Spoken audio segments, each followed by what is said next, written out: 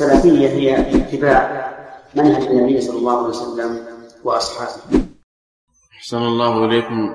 يقول السائل ما حكم إسقاط الجنين قبل الأربعين بسبب الظروف النفسية والاجتماعية خاصة إذا خشيت الزوجة من الطلاق مستقبلا؟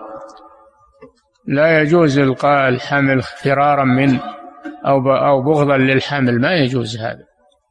أما إذا استدعى هذا طبيا إذا استدعى طبيا قرر الأطباء أنه لا بد من إجهاض هذا الجنين لخطورته على حياة أمه. وأفتى العلماء بناء على هذا التقرير يسقط. هذا المسألة لعب بس. إن بغى يسقط الحمل يسقطه لا. لا بد من تقرير أطباء مختصين. ولا بد من صدور فتوى عملا بهذا التقرير. نعم.